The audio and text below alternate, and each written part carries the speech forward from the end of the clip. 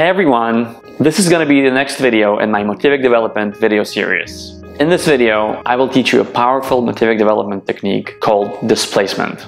Like I said, this video is a part of a series, and before watching it, I highly recommend you check out the other videos in the series, or at least check out the Introduction to Motivic Development video, and I'll leave the annotation up on the screen somewhere.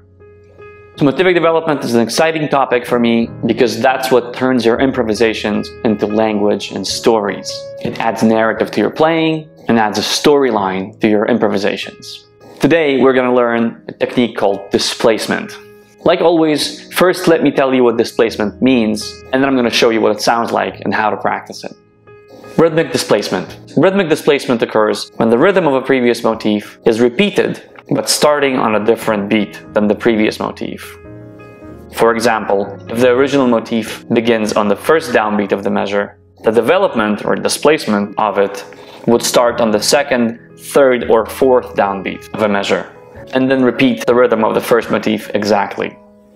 Or in simple words, you play a phrase, and then you play the same rhythm of that phrase, starting in a different place in a bar. If your motif started on beat 1, for example, then you take the rhythm of that motif and start it from beat 3 or beat 2 or beat 4. You're essentially displace the rhythm of the original motif that you played. Now, my examples will all start on beat 1 just to make it really easy and understandable for you guys. Some places in the bar are easier to displace to, some are harder, and I will show you all of them, starting from the easy, going to the harder and harder and harder. So here's my first example of rhythmic displacement. I'm going to play a motif and start it on beat 1, then I'm going to rest, and then I will displace the motif by two beats and repeat the same rhythm of that motif with different notes starting on beat 3. And that will be the rhythmic displacement of the motif. And it sounds a little something like this.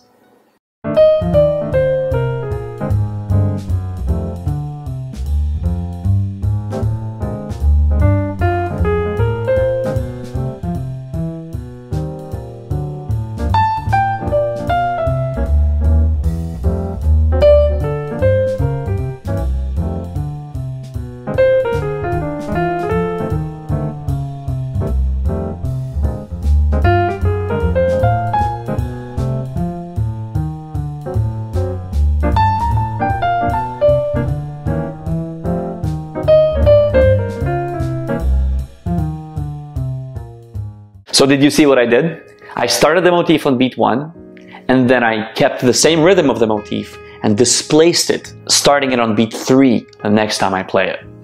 Here's another example. I'm going to play a motif starting on beat 1, then I'm going to rest, and then I will repeat the rhythm of that motif starting on beat 2, essentially displacing the rhythm by one beat. And it sounds a little something like this.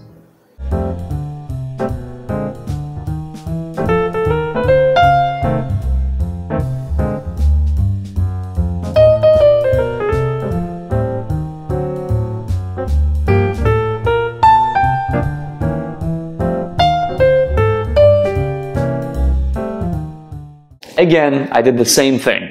I played a motif, I rested, and I repeated the rhythm of that motif with different notes, starting on a different beat. I essentially displaced the rhythm. Here's another example. I'm going to start the motif on beat 1, rest, and displace it by 3 beats, essentially repeating that rhythm again, but starting on beat 4 this time. And it sounds a little something like this.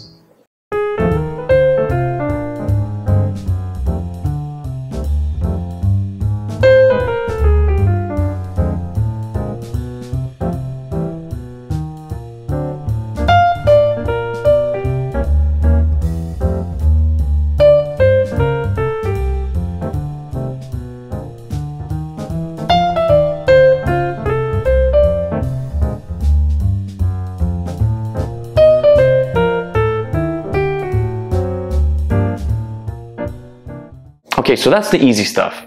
Now let's look at some harder displacement spots in the bar. And those might give you a head trip for a second, but they are really powerful and they really train your brain to come up with rhythms it would have never came up with otherwise. So I highly recommend doing the complex ones as well.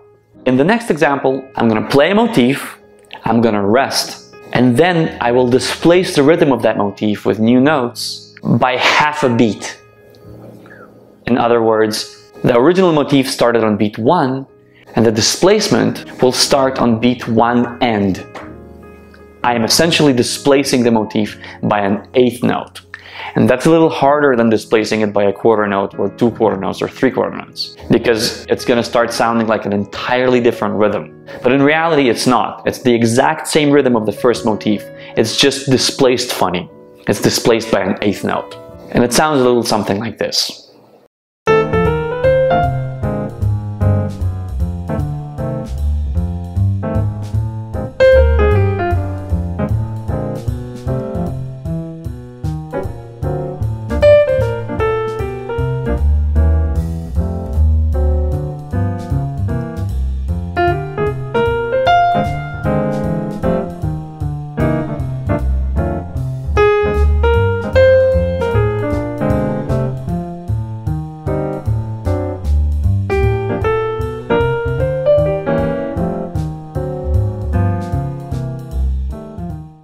So did you see what I did? I did exactly what I've been doing throughout this entire video, but I displaced the rhythm of the first motif by an eighth note instead of a quarter note, or two quarter notes, or three. In the next example, I'm going to displace my rhythm by three eighth notes, by a quarter note and a half. So the original motif will start on beat one, and the development will start on beat two end. I'm displacing the rhythm by three eighth notes, by a quarter note and a half. A little trippy, I know, but check it out.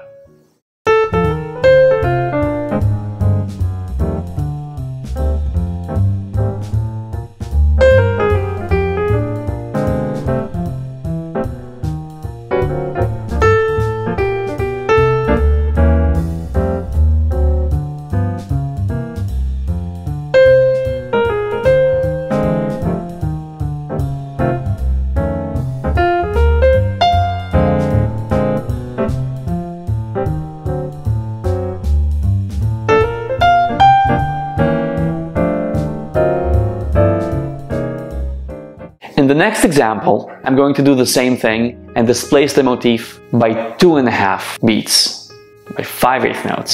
So the motif starts on beat one and the development will happen on beat three end. And it sounds like this.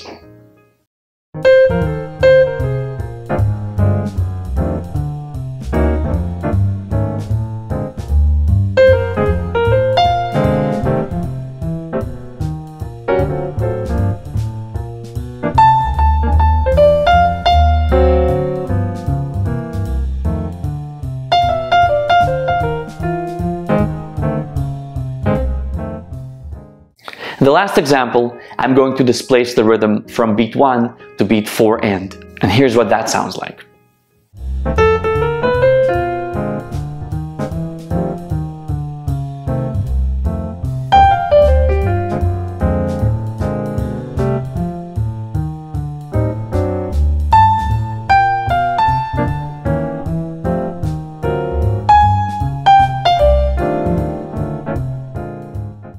I know this is really messing with your brain and it doesn't even sound like the original rhythm anymore. But if you look at the sheet music examples I provide in the video, you will see that it's actually exactly the same rhythm. It's just displaced in a really funny way. Now, why is this good? Why is this good to practice? Well, a couple of reasons. First, it's a really sophisticated way to develop your motifs, right? It's a really profound way of referencing what you had already said in a new way and recontextualizing the material you've already played, which is what motivic development is in principle. The other benefit of practicing this is that it really opens your mind and opens your instincts for new rhythmic possibilities. Let's face it, some of these rhythms I've been playing, I would have never came up with on my own had I not decided to start displacing my original motif in the most crazy ways I could imagine. And by doing that, I came up with new kinds of rhythms and phrasings that I would have never otherwise played in my improvisations. And now there's a pathway in my brain to playing these new funny rhythms and phrasing in these ways. And this is how I battle my own rhythmic habits of playing the same rhythms all the time and phrasing the same square way all the time, which I know all of us deal with and are trying to overcome. So that's another benefit of practicing this technique. That's about it, you guys. And please let me know if you have any questions or requests. I answer everyone's comments and coach you guys on how to practice this material in most efficient ways so that you could get the most out of it. If you liked the video, please hit that like button down below and subscribe to the channel. If you're already a subscriber, hit that notification bell so that every time I make these videos, you'll be the first one to know about them. Thank you for watching and I'll see you next time. Peace.